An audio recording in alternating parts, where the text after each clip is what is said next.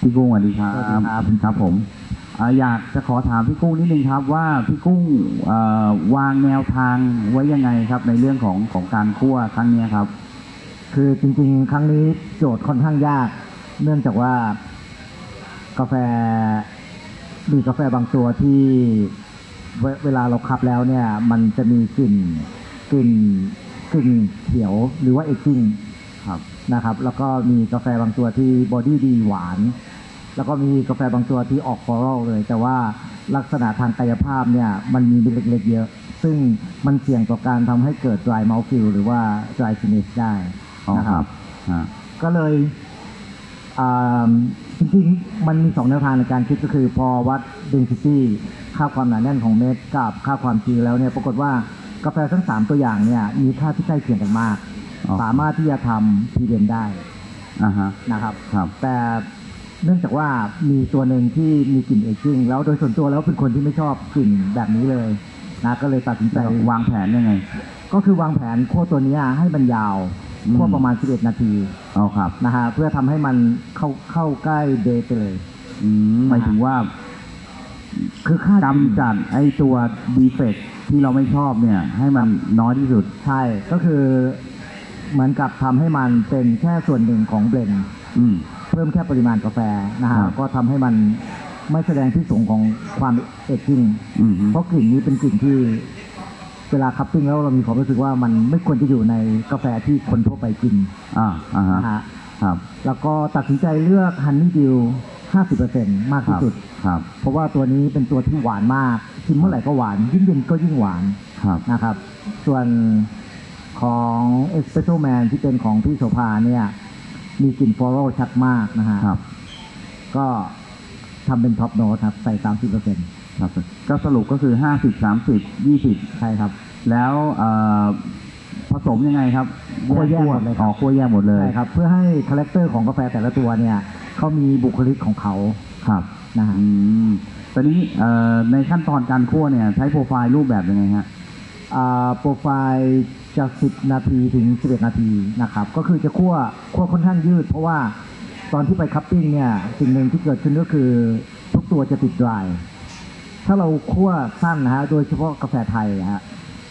มันจะติดดรายง่าย แล้วผมก็คิดว่าโจทย์ตรงเนี้ยคนส่วนใหญ่ที่มักจะเสียคะแนนในการคัพปิ้งไปคือมันจะมี dry mouthfeel หรือไม่ก็เป็น dry aftertaste อือฮึผมว่าแค่ทำให้มันไม่ dry ก็น่าจะได้คะแนน7.5 ขึ้นไปแล้วอะฮะโอเคเอ่อพี่กุ้งวัดความชื้นของกาแฟทั้งสามตัวนี้ได้ออกมาประมาณเท่าไหร่ฮะ อ่าประมาณ 9.3 ถึง 9.6 ก็ก็ค่อนข้างติดแห้งใช่ครับ ทั้งสามตัว ใช่ครับ ครับผมแล้วก็เอ่อโปรไฟล์การคั่วสมมติทำอุณหภูมิเท่าไหร่แล้วถึง drop เม็ด อ่าเนื่องจากว่าผมคั่ว 500 กรัม ผมก็จะ drop ที่ 150 องศาทุกทุก batch เลย อ่า drop drop ร้อยห้าสิบแล้วครับ ทำยังไงต่อฮะ หลังจากนั้นก็จะ คือวันซ้อมกับวันจริงเนี่ยมันต่างกันเยอะอะฮะครับ แคลอรี่ที่อยู่ในเครื่องมันต่างกันเยอะมาก มันอืม ต่างกันประมาณ 10 องศา อือฮึเพราะฉะนั้นในระหว่างที่แข่งเนี่ยก็ต้องมีการปรับหน้างานด้วยอะครับ อืมฮึอืมฮึก็ ก็จะให้มันแอบสอบความร้อนที่อยู่ในถังบาร์เรลก่อน ครับครับ ช่วงหนึ่งอาจจะ 30ถึง60 วินาทีโอเคแล้วก็เปิดไฟที่เบอร์ 1.5 ถึง2ครับโปรครับที่ 65 โดยเฉพาะเครื่องที่ 2 นะครับครับแต่วันซ้อมเปิดแค่โอเค60คือโปรไม่เท่ากันครับ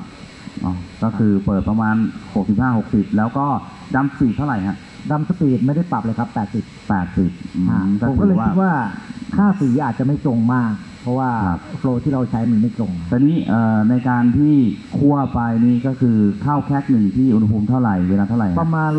182ถึง185ครับอ่าตัวเลขใกล้เคียงกันตัวเลขใกล้เคียงกัน แล้วเวลาฮะเวลาตอนข้าวแคกหนึ่งเอ่อเวลาประมาณ9นาทีต้นๆจนถึง 9 นาทีครึ่ง แล้วก็ คือส่วนใหญ่ผมจะใช้ developing time ประมาณ 1.2 ถึง 1.35 นาทียี่สิบ ใช่ครับนาทีสามสิบห้าแต่แถวนี้แถวคือนี้ถ้าต่ำกว่านี้ก็ก็ dry ก็ไม่ก็กรีน อ่าฮะครับครับ แล้วพี่กุ้งเอ่อคิดว่าพอใจในในผลงานในรอบนี้เหนือความคาดหมายครับ เพราะว่าแข่งมาไม่เคยจะติด top 4 top five อะไรเลยฮะ จริงๆ อยากจะให้ผลงานของน้องแนท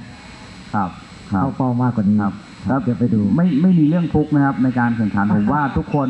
เอ่อ ทำงานหนักนะครับ แล้วก็ตั้งใจในการคั่วก็คิดว่าความประสบความสำเร็จนี้มาจากความตั้งใจนะครับ ไม่คงไม่ใช่เรื่องก็เรื่องเหนือความคาดหมายแข่งมาหลายปีอะครับ เราก็ไม่เคยได้แชมป์อะไรเลย ก็สงสัยมากไปหาหมอดูครับไปถามหมอดูว่าเนี่ยหมอทำไมผมแข่งตั้งหลายครั้งแล้วหลายเวทีแข่งทุกปีเลยอ่าฮะทำไมถึงไม่ประสบความสำเร็จสักที หมอดูเขาก็ดูฮะเขาบอกว่า ถามว่ามีอะไรแนะนำไหมมีเขาบอกอ่าครับเลิกแข่งเถอะโอ้โห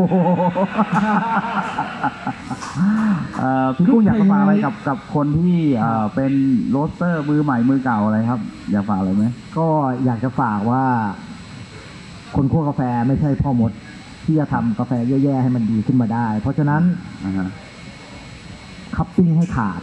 ครับ เลือกหากาแฟที่ดีมาคั่วครับ แล้วทุกคนจะประสบความสำเร็จ ในที่สุดโอเคอยากให้กำลังใจทุกคนครับครับผมชอบไหมครับ เครื่องเทมเพซ่าชอบครับจองไปแล้วครับ โอ้โหจองไปแล้ว โอ้ขอบคุณครับพี่กุ้งครับขอบคุณครับ ครับ ขอบคุณครับคุณติ๊กครับ